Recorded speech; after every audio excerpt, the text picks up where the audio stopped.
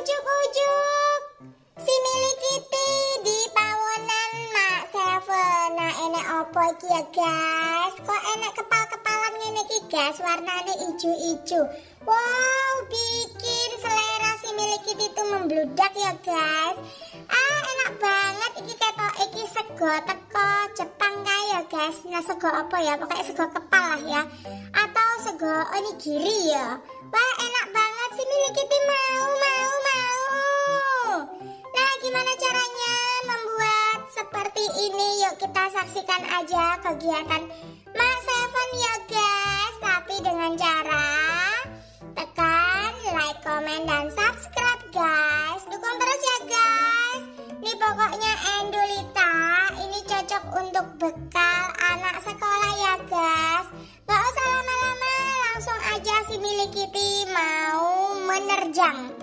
Seven ya guys. Dadah guys, yuk. Halo, assalamualaikum, salam subuh. Tepat Mas Evan udah subuh ya teman-teman, tapi belum Allah Akbar ya. Eh, kisaran jam 4 lewat ini di tempat Mas Seven. Nah, di video kali ini Mas Seven itu akan membuat bekal untuk anak-anak. Eh, bahannya simple, tapi yang membutuhkan harga yang eh, masih terjangkau ya teman-teman. Nah, di sini Mak Seven akan membuat eh, nasi dari Jepang ya, ala-ala Jepang gitu ya, namanya onigiri. Nah, bahan-bahan yang diperlukan adalah di sini pastinya itu ada nasi, terus ada telur. Telurnya ini nanti kita akan dadar ya teman-teman, atau diceplok juga boleh. Terus ada ladaku, ada kaldu bubuknya.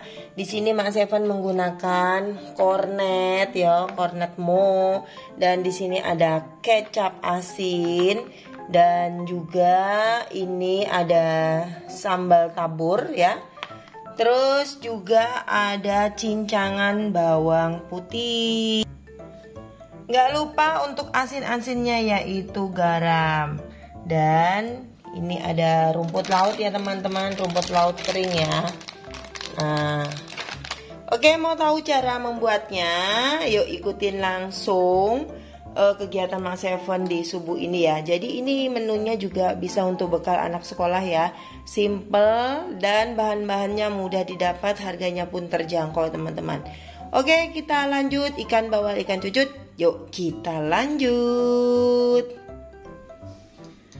Nah, di sini akan mendadar telur, terutama itu telurnya harus dibuka dulu ya teman-teman. Diceplok baru dikeluarkan. Seperti ini teman-teman.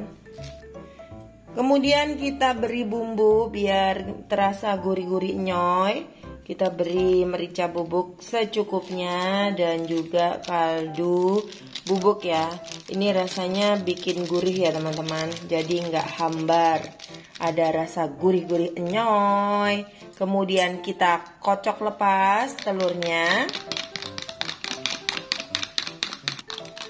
Nah setelah dikocok lepas kita akan menggorengnya teman-teman.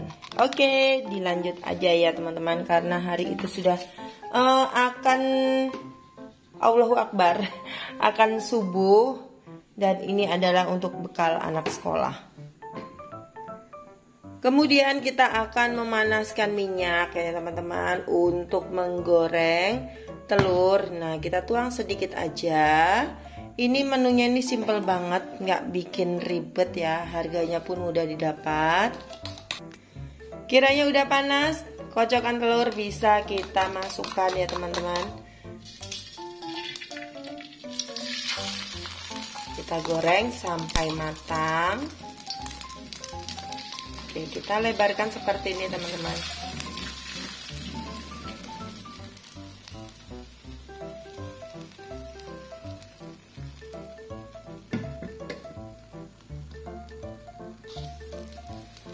Nah setelah garing kita akan membalik telurnya ya teman-teman. Kita balik diklekap. Nah ini bahasanya Mak Seven itu membalik itu diklekap. Oke kita tunggu sampai benar-benar matang ya. Kiranya udah matang kita angkat dan kita pindah ke piring saji teman-teman.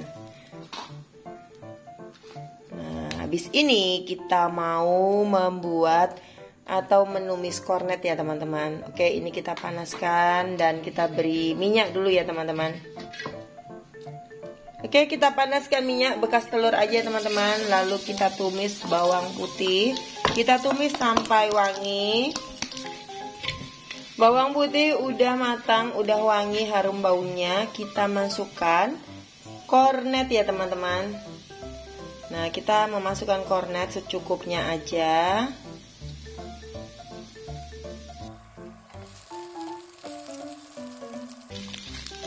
Kita matangkan, kita ublek-ublek, kita jadikan satu dengan bumbunya bawang putih. Kita hancur-hancur supaya matang merata. Dan nggak lupa kita beri agak gurih-gurih gitu ya teman-teman, sedikit garam. Lalu kita ublek-ublek di sini sampai benar-benar berubah warna ya teman-teman. Ini rasanya nih endulita banget. Jadi video kali ini Mas Evan akan memberikan bekal untuk anak-anak yaitu nasi kepal. Nasi kepal dari Jepang ala-ala Mak Seven. Oke, kita tunggu dulu sampai benar-benar matang dan berubah warna. Nah, ini sudah agak matang ya, teman-teman. Ini udah beberapa uh, menit kemudian oke okay, ini udah matang udah berubah warna. Setelah itu kita matikan apinya. Oke okay, kita akan menyiapkan menu-menu yang lainnya teman-teman. Uh, agar mempermudah cara penyajiannya. Dan terus ikuti kegiatan Mas Seven hari ini Nah teman-teman ini udah siap semuanya. Sekarang kita akan mengepal-ngepal nasi kepalnya ya teman-teman. Gak lupa di sini Mak Sevan akan menggunakan sarung tangan plastik ya Agar tetap higienis. Dan juga nasinya itu nggak lengket di tangan Seperti itu teman-teman. Ini cocok banget untuk bekal anak sekolah. Jadi hari ini bekal anak sekolah Ala-ala Mak Seven yaitu nasi kepal Jepang atau onigiri. Pastinya rasanya endol banget ya teman-teman. Semoga disukai oleh anak-anak. Nah ini nasi udah kita siapkan dan akan kita campur dengan kecap asin teman-teman biar ada rasanya gurih-gurih enyoy ini kita ublek-ublek kita ratakan kecap asinnya sampai benar-benar merata ya. Ini rasanya pastinya asin ya teman-teman. Tapi asinnya itu asin-asin gurih gitu ya. Enak tenan endulita.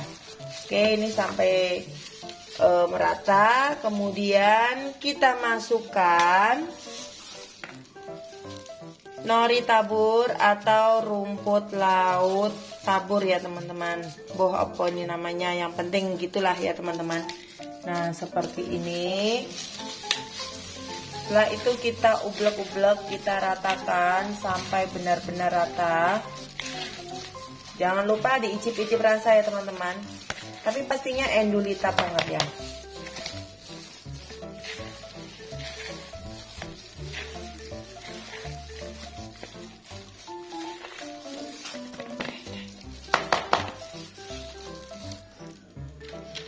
Nah, di sini Mak Sevan udah membuka lembaran uh, rumput laut ya teman-teman.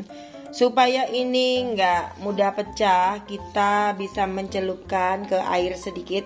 Terus tentunya untuk airnya air matang ya teman-teman, agar sedikit layu. Oke, kita akan menyelupkan.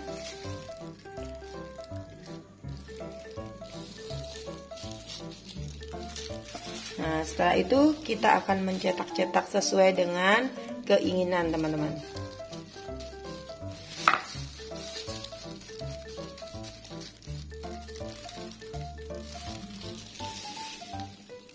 Jangan lupa beri isian untuk kornet.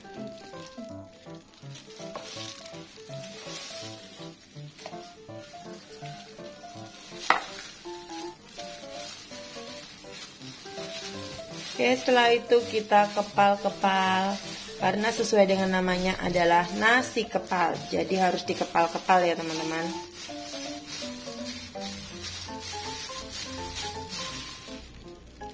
Oke, ini seperti ini, teman-teman.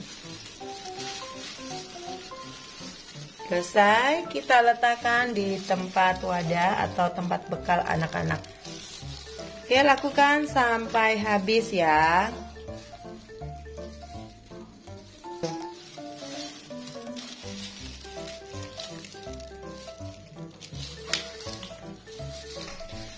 Dan ini adalah kepalan yang terakhir ya teman-teman. Di sini Mak Seven akan memberikan nasi kepal atau nasi ala-ala Jepang sebesar 6 pieces. Oke, ini adalah sajian yang terakhir. Ya, setelah itu kita akan memberikan telur. Nah, di sini Mas Evan udah memotong-motong untuk telurnya lalu kita akan plating-plating kita akan uh, tutul-tutulkan atau kita masukkan kita rapikan di sini ya teman-teman. Nah untuk mempercantik sajiannya dan ini sangat menggugah selera makan atau selera bekal anak-anak sekolah ya teman-teman. Ini pokoknya enak banget endulita dan harganya pun terjangkau. Mudah dibuat nggak ribet banget ya teman-teman. Karena bumbunya cukup dengan bawang putih saja. Oke seperti ini teman-teman. Ini penampilan sementara. Setelah itu yang terakhir kita berikan taburan untuk rumput laut tabur ya. Sebenarnya di sini uh, enaknya pakai wijen ya teman-teman. Tapi karena nggak ada wijen ya wis seadanya aja. Yang penting itu rasanya endulita.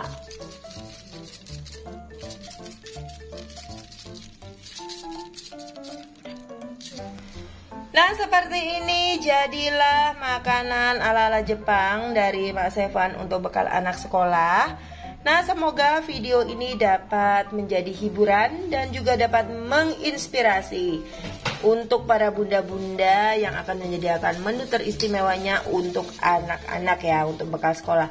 Ini rasanya endolita banget ya teman-teman. Pokoknya insya Allah anak-anak senang dengan penyajian yang unik-unik seperti ini ya teman-teman. Oke, sampai di sini dulu kebersamaan dengan Mas Seven di subuh ini dalam menyediakan menu untuk bekal anak sekolah Besok kita jumpa lagi dengan tema yang berbeda Insya Allah. Tetap semangat terus berkarya Maju terus pantang mundur. Terus tetap dan jaga selalu kesehatan kita ya teman-teman. Oke salam sehat dan sukses selalu. Assalamualaikum warahmatullahi wabarakatuh. Semoga video ini bermanfaat